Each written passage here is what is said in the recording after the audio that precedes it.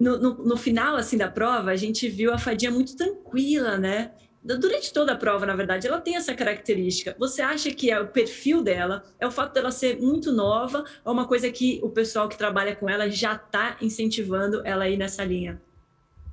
Eu acho que são as três coisas, Domi. É muito pela idade dela, né? Eu acho que talvez a idade dela ela não possa, ela não tenha noção, noção do tamanho, a proporção que tudo isso está tomando, né?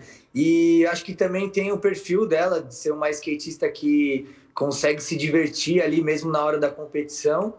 E também tem o fato de ter toda uma equipe ali multidisciplinar que está trabalhando com ela já há alguns anos e que está preparando ela justamente para manter a calma ali na hora da, da competição, na hora da final e tudo mais.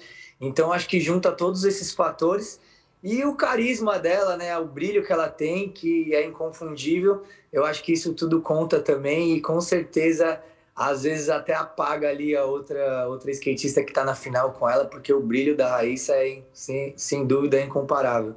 Você falou uma coisa engraçada, porque a pessoa que a, a atleta que venceu também tem 13 anos, a Mungi Nishaya. E falou-se muito pouco dela. Obviamente, no Brasil a gente vai falar muito da, da, da Raíssa, mas a Raíssa tem um carisma, né? Que todo mundo se apaixona.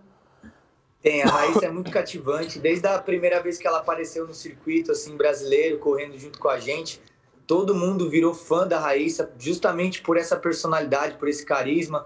Ela tá sempre sorrindo. Ela anda leve de skate, né? Ela é pequenininha, ela é levinha, mas mesmo assim ela tem um estilo muito leve, muito fácil de mandar as manobras. E isso contagiou todo mundo, seja você skatista ou não, é fácil, é fácil se apaixonar pela Raíssa. Qual